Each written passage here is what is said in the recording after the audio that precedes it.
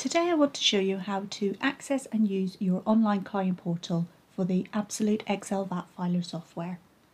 To access the portal you need to log on to the website www.absoluteexcelvatfiler.co.uk and in the top right hand corner click sign in.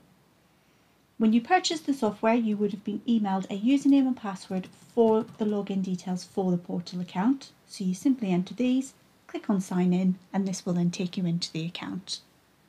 Once logged in, you've got these various options on screen and you can just work your way through these. The account details will just show the contact details that you provided to us at the point of purchase, so you can go through and make amendments if you've got a change of address. You've then also got the option of contacts and this will then show you a list of contacts on the account. When you first purchased the software, you would have been provided a username and a password which was associated with the primary contact email address that you supplied to us. You can, however, set up additional contacts on the account so that if you've got multiple users of the VAT software, you can each have your own unique username and password for the spreadsheet so that within your submission history you can see who is making the submissions. Within contacts, it will show you the contacts that have been added, which if you click onto the contact name, you will then see a tab at the top for license, which will show you the username and password for use on the spreadsheet. And you can also set a portal login. So this is then access to the online account. If you wanted to create a new contact, you would click new contact in the top right hand corner, and then you would go through and fill in the contact details. What this will then do is it will email you with a username and password for use on the VAT filer spreadsheet for that individual so that this can then be forwarded on to them so that they can then use that for all future submissions.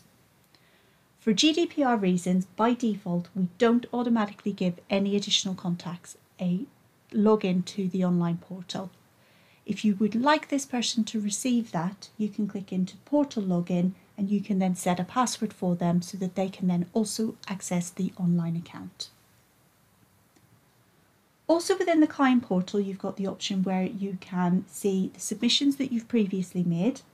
So you would just click onto submissions and this will then give you a list of any companies and VAT numbers that have been submitted and you've also got the option where you can click receipt and this will then just access the receipt that you previously would have received at the point of submission. So you can just print this off for your records. You've also from here got the option where you can go into license usage history and this will then give you full details of the licenses on the account and you will also be able to see who purchased the licenses and what licenses have been used by which person in the input by section. The licenses for the VAT software run for 12 months from the date of the first successful submission made online to HMRC. We notify you within 30 days and 14 days prior to the expiry of these licenses. These licenses can then be renewed or additional licenses purchased in multiples of 10 via the online client portal.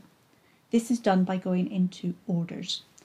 From this screen you can see previous orders that have been made and you can also reprint copies of any invoices for previous purchases.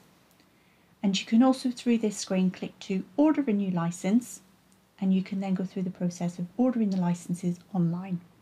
They're sold in multiples of 10 so you can just add the quantity that you wish, click next and then we will show you the EULA, which we would recommend that you read prior to agreeing, and then you click to say agree to terms and conditions, and then you would click confirm order. What this will then do is it will redirect you through to Sage Pay so that you can make a purchase online paying by debit or credit card. Once the payment goes through, we will then email you automatically a VAT invoice and the licenses will be added to your account. Through your account, you've also got access to licenses. So if you click onto that option, it will then just give you a list of the licenses that have been added to the account, along with details of the start and expiry date on these licenses as and when they're activated. You've also through the client portal got access to the comprehensive knowledge base. So if you click onto the knowledge base option, it will then take you into the complete list of queries. You can then search for keywords and this will then filter the list and if you click onto it it will then give you details of what causes the error message and also what you need to do to correct the problem within the submission.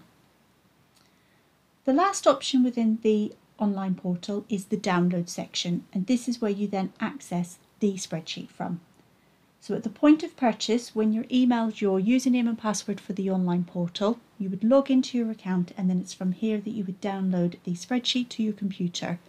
So within this section, you've got the option of the Windows or the Mac version along with the import sheet if you decide that this is the option that you want to use to create the digital link.